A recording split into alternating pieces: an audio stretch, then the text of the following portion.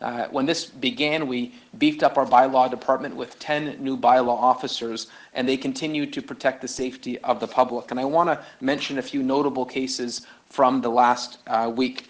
Um, there was complaints that were coming in about a cannabis, an illegal cannabis dispensary that was operating, that was busy, um, and causing a potential risk uh, of the spread of the COVID-19 virus.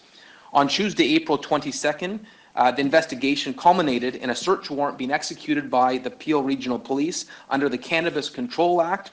During the investigation, by law enforcement officers charged four individuals under our Emergency Management and Civil Protection Act for failing to comply with the provincial order. Each individual was issued a ticket for $880.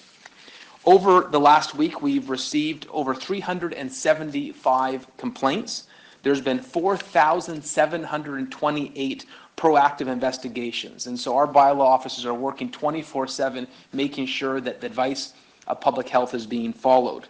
We've seen 111 warnings issued and 30 new charges. Um, so we take this very seriously.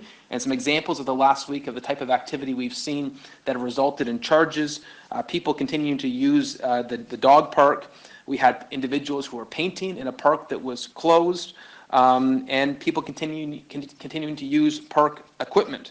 Um, we, there's also an incident where someone was selling produce from their vehicle in a parking lot, not once, but three times in two days, and now they're going to have to attend court to face charges for that. Uh, we cannot ignore the advice of public health, and our bylaw officers will make sure those that are risking the safety of the rest of the community will face stiff financial penalties.